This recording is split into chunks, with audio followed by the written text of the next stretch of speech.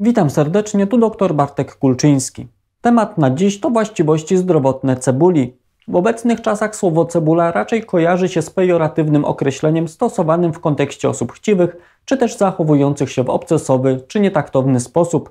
Jednak dopóki słowo cebula nie zyskało takiego znaczenia, to słysząc nazwę tego warzywa, wielu osobom zapewne przed oczami pojawiał się syrop z cebuli.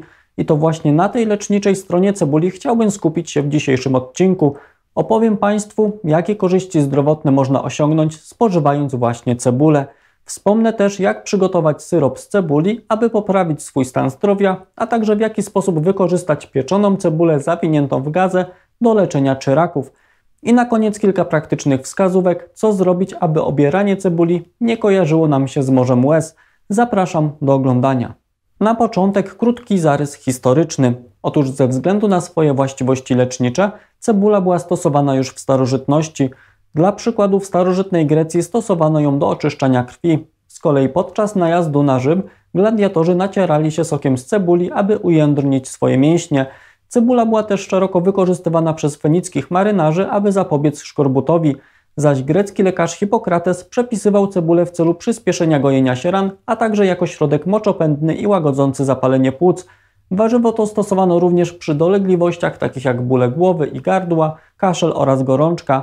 Wróćmy jednak do czasów teraźniejszych i sprawdźmy, co takiego cennego znajduje się w cebuli, że ma szeroki korzystny wpływ na nasze zdrowie, o którym zaraz również opowiem. Nie będzie przesadą, gdy powiem, że cebula to warzywo naszpikowane substancjami biologicznie czynnymi – Wśród nich największe znaczenie mają związki fenolowe. Mam tu na myśli m.in. kwasy fenolowe, takie jak kwas ferulowy i kwas galusowy. Dodatkowo bardzo ważnymi składnikami z tej grupy związków są kwercetyna i kempferol. Są to substancje charakteryzujące się silnymi właściwościami przeciwutleniającymi, czyli są zdolne do neutralizowania szkodliwego działania wolnych rodników.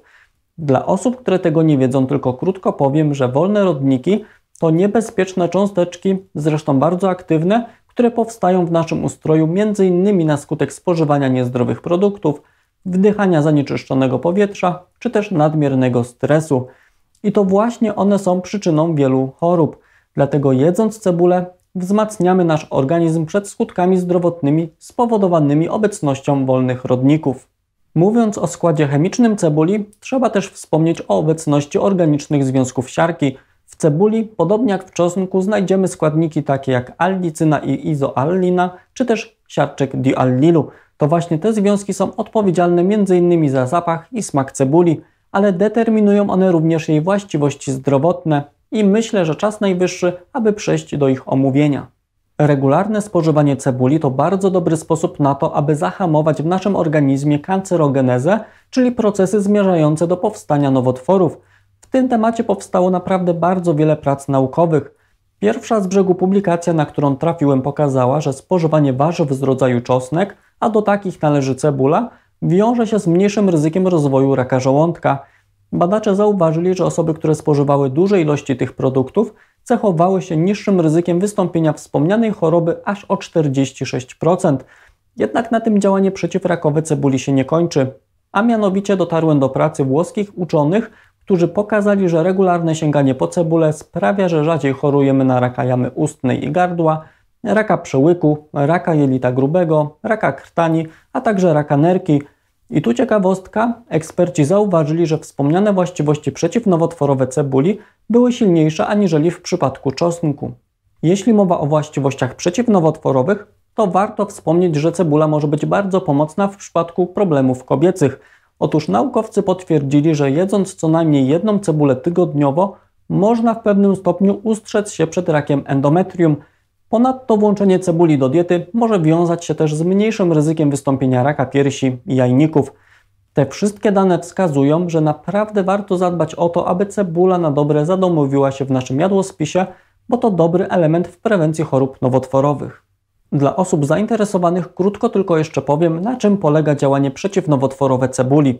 Otóż związki w niej obecne chronią nasze DNA, czyli materiał genetyczny przed uszkodzeniami. Dodatkowo wspierają one procesy naprawcze DNA, które zachodzą przez całe życie, ale z różną skutecznością.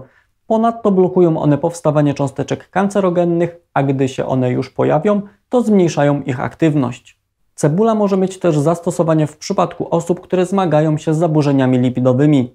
Jak wiadomo, nieprawidłowa proporcja pomiędzy stężeniami lipoprotein o wysokiej gęstości, czyli HDL, i lipoprotein o niskiej gęstości, czyli LDL, jest tak zwanym czynnikiem ryzyka sercowo-naczyniowego. Mówiąc inaczej, jeśli wystąpią wspomniane zaburzenia lipidowe, to będą one sprzyjać wystąpieniu chorób układu krążenia. Dlatego tak bardzo ważne jest, aby mieć kontrolę nad wspomnianą proporcją i w razie czego szybko przywrócić równowagę. I w tej kwestii pole do działania wykazuje właśnie cebula. W najnowszej pracy naukowej z 2021 roku jej autorzy dowiedli, że spożywanie cebuli poprawia stosunek pomiędzy poziomami cholesterolu HDL i LDL. Gdy jesteśmy przy temacie układu krążenia, to przy okazji wspomnę o jeszcze jednej pracy. We Włoszech przeprowadzono badanie, w którym wykazano, że osoby, których dieta była bogata w cebulę, miały mniejsze ryzyko wystąpienia ostrego zawału mięśnia sercowego. Ryzyko to było niższe o 16% w porównaniu do osób, które rzadko sięgały po wspomniane warzywo. Dodam też, że w tym zakresie spożywanie cebuli przyniosło lepsze efekty niż sięganie po czosnek. Z kolei w badaniach pochodzących z 2017 roku udowodniono, że spożywanie warzyw takich jak cebula i czosnek wiąże się z mniejszym o 26% ryzykiem nadciśnienia tętniczego. Zanim przejdę dalej, dużo więcej praktycznych ciekawostek o produktach spożywczych zdradzam w moim porannym dzienniku zdrowia, dlatego chciałbym teraz krótko zaprosić Państwa, aby się na niego zapisać. Dziennik, czyli darmowy biuletyn mailowy, piszę i wysyłam od poniedziałku do piątku o 6 rano, więc jest to sposób, aby rozpocząć dzień od ciekawej wiedzy o metodach na lepsze zdrowie. Każdy dziennik piszę prosto i krótko, aby był szybką i lekką lekturą do porannej kawy lub herbaty. Aby się zapisać na dziennik, wejdź na www.drbartek.pl ukośnik dziennik. Pole na zapis znajduje się pod zieloną strzałką. Serdecznie zapraszam, a teraz wracam do tematu. Należy również wspomnieć, że cebula wykazuje działanie przeciwpłytkowe, czyli przeciwzakrzepowe. Regularne jej spożywanie może zmniejszać zdolność krwi do krzepnięcia. Ten mechanizm działania jest szczególnie cenny w przypadku osób zmagających się z zakrzepami. Składniki obecne w cebuli mogą zmniejszać ryzyko powstawania niebezpiecznych zatorów w naczyniach krwionośnych. Te wszystkie informacje potwierdzają, że cebula jest prawdziwym sprzymierzeńcem naszego układu krążenia. Po cebulę warto też sięgać, aby uregulować poziom cukru we krwi, a trzymając się naukowej nomenklatury, aby obniżyć stężenie glukozy. W badaniach przeprowadzonych z udziałem osób zmagających się z cukrzycą typu pierwszego i typu drugiego zauważono, że zjedzenie 100 g czerwonej cebuli, czyli jednej sztuki, spowodowało istotną redukcję poziomu glukozy we krwi. I tu podkreślę, że te wyniki to nie jest odosobniony przypadek. W wielu doświadczeniach na zwierzętach również potwierdzono, że spożywanie cebuli wiąże się z poprawą gospodarki węglowodanowej. Omawiając wpływ spożywania cebuli na poziom cukru we krwi, chciałbym wspomnieć o wynikach badań, które zostały opublikowane w 2017 roku. Otóż naukowcy przeprowadzili doświadczenie z udziałem kobiet z rakiem piersi, które przyjmowały doksorubicynę. Doksorubicyna to lek przeciwnowotworowy, którego jednym ze skutków ubocznych jest hiperglikemia, czyli zwiększenie stężenia glukozy we krwi ponad normę. Dodatkowo może powodować ona insulinooporność, czyli sprawiać, że komórki nie są wrażliwe na działanie insuliny i niechętnie wyłapują cukier z krwi.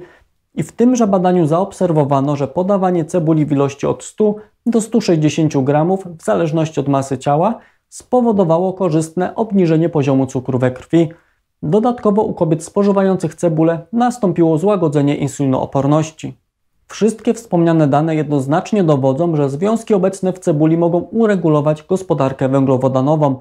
Oczywiście to nie jest tak, że wystarczy jeść cebulę, aby poradzić sobie z wysokim poziomem cukru.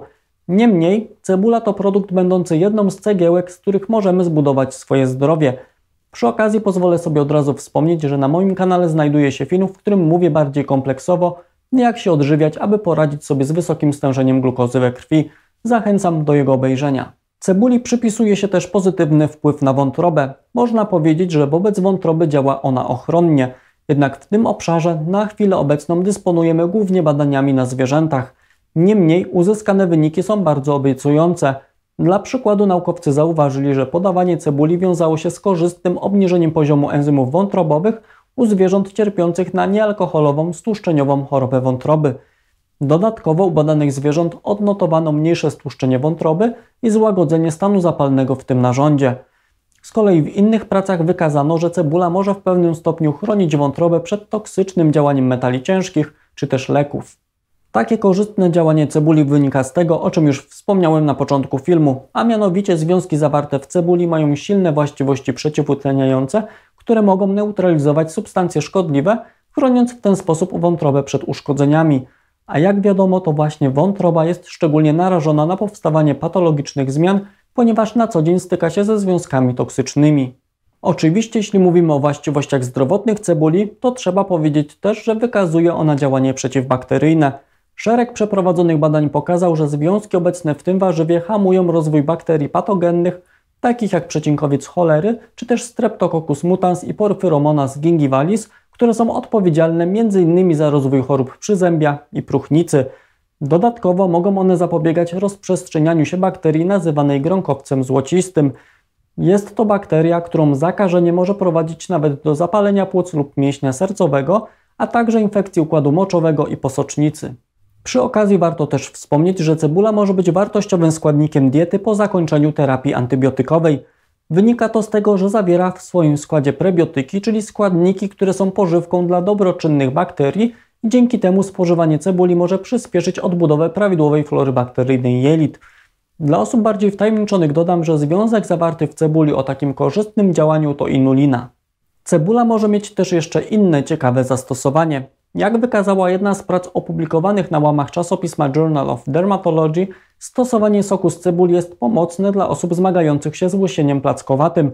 Badacze zauważyli, że naniesienie i wcieranie soku z cebuli we włosy i skórę głowy skutkowało odrostem włosów. Taką skuteczność działania odnotowano już po 4 tygodniach, gdy sok z cebuli stosowano dwa razy dziennie. Przygotowanie takiego soku jest bardzo proste. Wystarczy obrać cebulę, pokroić ją na mniejsze kawałki, a następnie wycisnąć z niej sok z wykorzystaniem sokowirówki. Do tego celu można wykorzystać też blender. Wówczas uzyskaną pastę należy przełożyć na gazę i wycisnąć z niej sok. Jeśli chodzi o stosowanie miejscowe cebuli, to warto też wspomnieć o jej przydatności w przypadku czyraków. Zgodnie z informacjami zawartymi w jednej z książek poświęconej ziołolecznictwu, Pieczona cebula jest pomocna w zmiękczaniu skóry i oczyszczaniu guzów z treści ropnej. Jednocześnie wykazuje ona działanie odkażające. Aby przygotować środek na czyraki, należy cebulę w całości razem z łuskami zapiekać lub gotować w wodzie, aż do uzyskania pełnej miękkości. Następnie należy ugnieść ją na miazgę, owinąć w gazę i przyłożyć na czyrak. Zaleca się stosować ją przez około 4 lub 6 godzin dziennie, najlepiej dwu, a nawet trzykrotnie w ciągu doby, aż do uzyskania poprawy. Oczywiście w niniejszym filmie nie mogło zabraknąć kilku słów o syropie z cebuli. Przyznam, że dawno go nie stosowałem, jednak jego smak z dzieciństwa pamiętam do dziś i wbrew pozorom nie było to przykre doświadczenie. Syrop, który przyrządzała moja mama, mogłem wręcz pić jak sok, ale odłóżmy na bok prywatę i skupmy się na meritum. Syrop z cebuli, dla którego przepis zaraz podam, to dobry sposób na to, aby złagodzić suchy kaszel, a także ból gardła. Może też wzmocnić nasz organizm w walce z infekcjami. Podam teraz listę składników, które będą niezbędne do przygotowania syropu z cebuli. A są to dwie duże cebule, może być to cebula zarówno biała, jak i czerwona. Potrzebować będziemy też czosnek, wystarczą dwa ząbki. Aby poprawić smak i wzmocnić działanie syropu, warto też dodać jedną cytrynę, odrobinę świeżego korzenia imbiru, szczyptę cynamonu, kilka goździków i oczywiście miód. Jeśli ktoś nie przepada za miodem, można zastąpić go na przykład syropem z agawy lub zwykłym cukrem. Przygotowanie syropu z cebuli jest bardzo proste. Zaczynamy od wyparzenia naczynia, w którym sporządzimy syrop. Oczywiście do tego celu najlepiej nada się słoik. Na dnie naczynia układamy pokrojone w plasterki cebulę, cytrynę i imbir. Dodajemy też pokrojony w kawałki czosnek. Nie zapominamy oczywiście o goździkach i cynamonie. Najlepiej taki zestaw składników układać warstwami, które będą przedzielone warstwą cukru lub miodu. Następnie całość ugniatamy i zasypujemy cukrem, miodem czy też syropem klonowym aż do wieczka.